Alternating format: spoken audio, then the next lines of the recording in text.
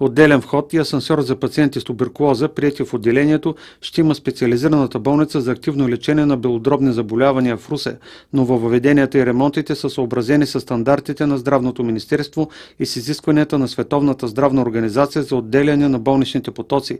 За туберкулозните са предвидени 20 легла от общо 88 в стационара. От 2010 година а, имаме предписание от Министерството на здравеопазването и чрез районната здравна инспекция на град Русе, в лицето на доктор Николова, да отделим входовете за туберкулозни и нетуберкулозни болни.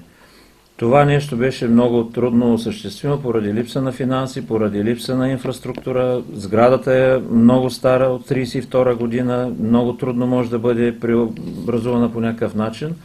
И в миналата година работим по проект за външен асансьор. Първата фаза вече завършихме пациентите вече са отделени като местопребиваване.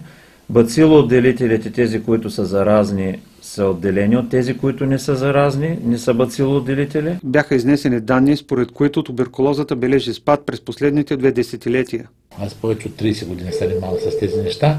В началото имаше голям пик на туберкулоза, около 90-те години намаля значително. После към 2000-та година отново се завишиха заболеваността от туберкулоза и сега бавно трайна тенденция за намаляване на новите случаи, но а, за съжаление част от тях са в доста тежко състояние, а, тежки форми на туберкулоза, най-невероятни, нечувани възможности за извън белодробна туберкулоза, които ние никога, когато сме учили и след това не сме виждали, се появиха, идват много туберкулози от, във връзка с работата в чужбина. През последните години новооткритите пациенти с туберкулоза в Руси са не повече от 50 годишно, сред които няма заболели деца.